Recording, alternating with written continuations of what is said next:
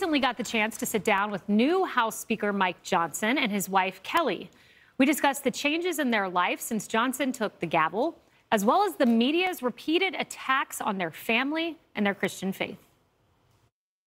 You know, Kelly, when you take on a public role um, and you are a conservative or you express your faith openly, a lot of times the media will mischaracterize you. It happened to me as White House press secretary, and I remember that was challenging for my mom to see her daughter spoken about in such a fashion um, and maligned in many cases. And how does it feel when you see the media malign your husband, you, your family?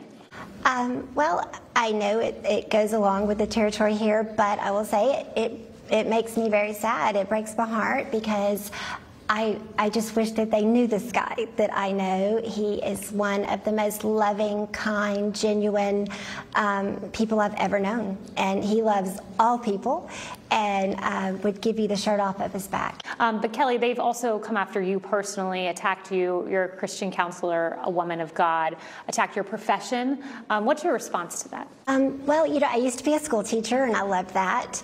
But I just felt burdened for so many people, and I felt the calling to, to go back to school to become a Christian counselor.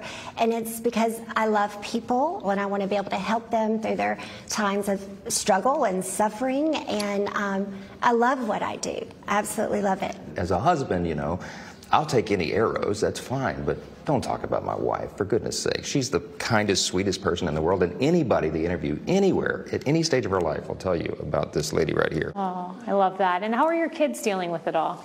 They're doing pretty well. Um, I think they're also still in shock because it's still so new, but um, they're proud of their dad and, and they're excited they're excited for what's ahead. Do you believe your husband is here in this role um, for such a time as this, at this particular moment, for a reason? I do. I do. I believe that God has placed him here. That's biblical. The Bible says he raises up leaders and he, he brings them down, right? So he so I believe that God has him here for just this time. Emily